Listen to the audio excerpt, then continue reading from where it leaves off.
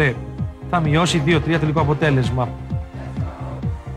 Το γκολ του Τσαλοχίδη δεν μέτρησε ως offside στο παιχνίδι Ολυμπιακού Ηρακλής στο στάδιο Καραϊσκάκη. Εδώ ανατροπή αμφισβητούμενη του Έρακ πάνω στον Αλεξανδρίτ. Ο Ήβιτς αναλάβει να εκτελέσει το πέναλτι. Θα μείνει το 0-0.